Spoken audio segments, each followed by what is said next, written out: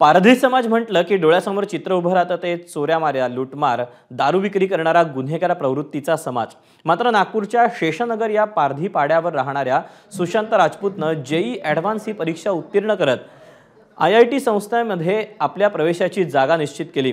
सुशांत राजपूतचा all India प्रवर्ग rank हा नऊशे चोपन्न इतका आहे. त्याच्या या यशानं पारधी समाजात आनंदाचं वातावरण आहे. माझी आता category rank nine fifty four आहेत. आणि आता सी आर एल माहीत नाही पडलं ते स्कोर कार्ड येण्यावर ते सर्व माहीत पडणार. सध्या का कॅटेगरीमध्ये नाईन फिफ्टी फोर आहे आणि ॲडमिशन कन्फर्म झाली ॲडमिशन वगैरे सुरू होऊन जाईल. तुला काय करायचं आता?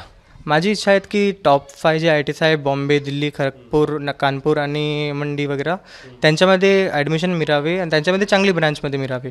तसेच जास्त चांगली ब्रांच नाही मिळाली तरी पण चालेल पण मोस्टली चांगल्या आय टीमध्ये जे मिळाले तर फर्स्ट इयरमध्ये आपल्याला चांगली सी जी पी घेऊन ब्रांच चेंज करता येते तर मी त्याचा प्रयत्न कर मला त्याची ॲबिलिटी मला ओळखू आली. तर त्याच्यानंतर सर मी स्वतः पॉलिटेक्निक केली आहे इलेक्ट्रिकल इंजिनिअरिंगमध्ये आणि इंजिनिअरिंग माझी अर्धवट राहिली आहे काही फायनान्शियल कंडिशनच्या कारणामुळे.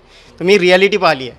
का आपण कॉलेजेसमध्ये कितीही गेलं तरी आपल्याला आता कॅम्पस सिलेक्शनमध्ये जॉब मिळणं थोडं अवघड आहे कारण की स्किल स्किलची कमी आहे.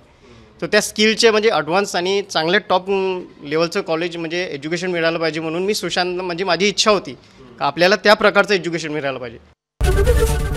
एबीपी माझा. उघडा डोळे बघा नीट.